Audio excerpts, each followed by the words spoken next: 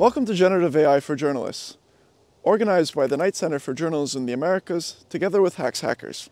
I'm Sil Hamilton, AI researcher in residence at Hacks Hackers, a grassroots community of journalists building the future of media. And I'm also an AI researcher at McGill University up in Montreal, Canada. I'm looking forward to guiding you through this course. Thanks for registering. Artificial intelligence has been a non-stop trope in the media for the past year. Everyone talks of generative AI, but how do you use it? And how many have even used it? During this four-week course, you will learn how to use artificial intelligence by implementing your very own chatbot together with LangChain, a framework for orchestrating data and models. To help you along the way, each week we'll showcase new skills building up on the last. We'll first look at what generative AI looks like in practice and how to set up tools like Jupyter Lab so that we can try it out for ourselves.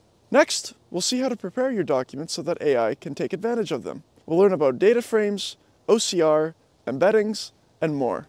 In the third week, we'll learn how to run language models with LangChain, an orchestration framework which, as we'll discover, can feed your data into language models safely and securely. We'll also take a look at how to minimize hallucinations and a basic tutorial on prompt engineering so that you can get the model to do precisely what you would like. Lastly, the fourth week will be a look at how to bring our chatbot online so that others can use it. Along the way, We'll learn about tips and tricks from people intimately familiar with generative AI development.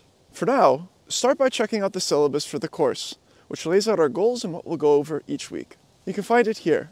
Then be sure to look at the introductory reading materials to begin learning about what generative AI really is and how to install the tools we'll be using throughout the course.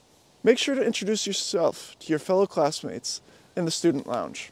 If you have any questions at all about the platform, submit them in the Questions About the Course Platform section of the forum, or if you have questions for me, put a post in the instructors forum. See you online soon in Module 1.